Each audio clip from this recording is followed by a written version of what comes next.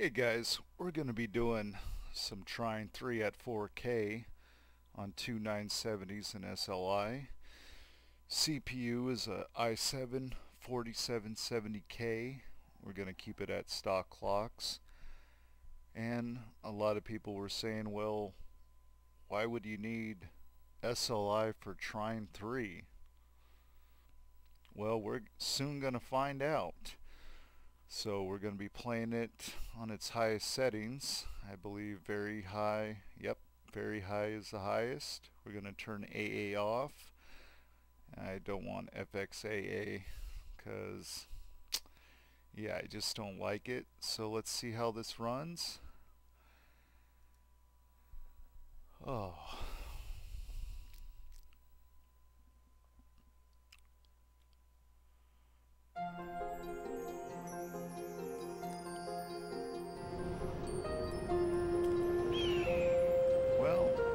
I seem to have forgot to turn on Afterburner.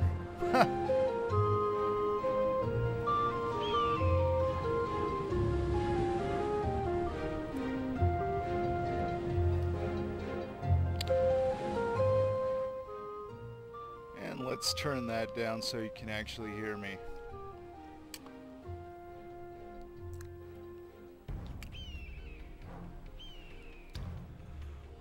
Well so far at the menu we're at 99, 96% usage at 120 frames. That's a good start. It was not unusual that our three heroes would be whisked away at a moment's notice. For with great power came also great responsibility. Ah, that's still pretty loud. Hold on.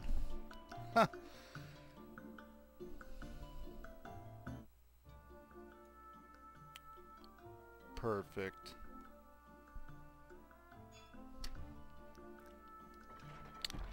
Well, so far we're at 86, 87 frames with 98, 97 usage on each card. I would like to see that a tad higher, but it's better than nothing. It's better than 2020 or something ridiculous like that. Ooh, he pissed off. Oh. Maybe I can shoot him in the face. Oh yeah. And we're staying around 89, 90 frames, which ain't too bad, I would say.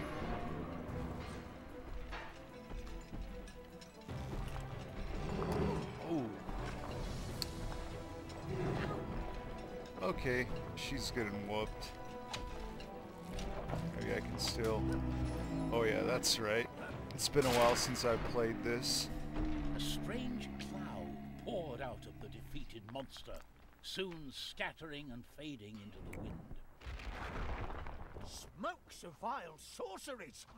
Look here. This villain, it's made of junk. Creepy.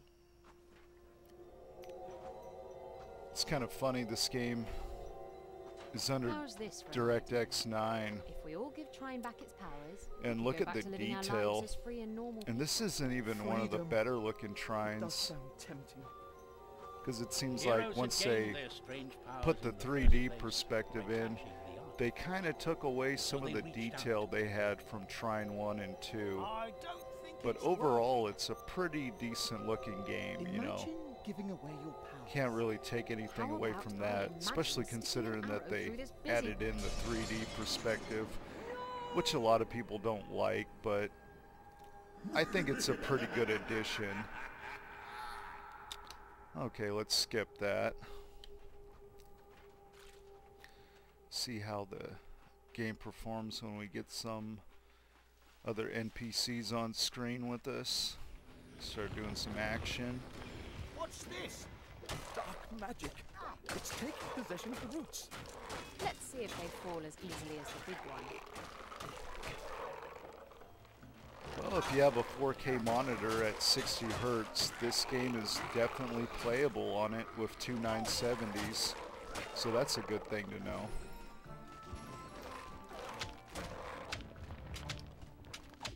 Definitely a good thing to know.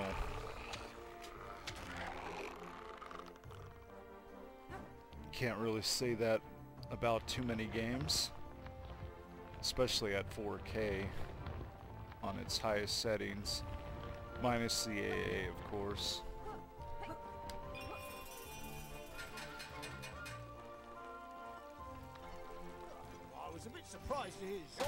Let's break some stuff. I like breaking Wait, stuff. You must be talking about Amadeus. Oh boy. I made no such sound. Like I said, it's been a while since I've played this. Who was it? Oh. Oh shit. Uh, that didn't end too well. Better get her back. Yeah. Oh man. Oh yeah, that's right.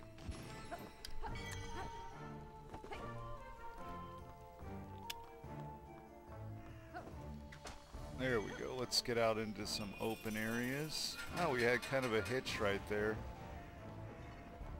But that's alright. So many days spent fishing and nothing to show for it. What bad luck. Story of my life, buddy. Oh, I can't remember what I was supposed to... Oh yeah, that's right. I gotta take that and break it off. And I think he catches a fish.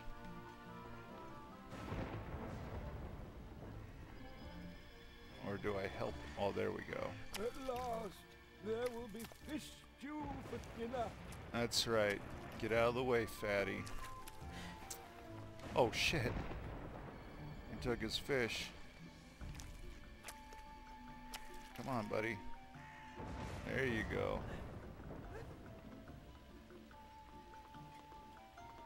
Kind of slow in the brain, I would say. Come on.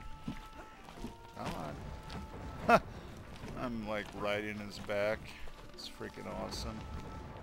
Oh. Goats. Oh, sh man, I thought I could like give him some motivation and get the heck out of there. Guess not. But so far for 4K, it is pretty playable. Well, it's beyond pretty playable. It's freaking amazing. Just glad the SLI profile works in this More game. wizard landscaping? I'm Seems they like so many games mind when they set these. SLI just hasn't really been on developers' minds as of late. It's been quite crap, I would say. Oh shit. Oh! I don't think I was supposed to do that.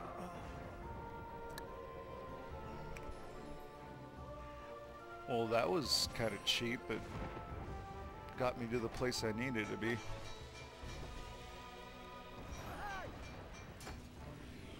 Oh, more of them.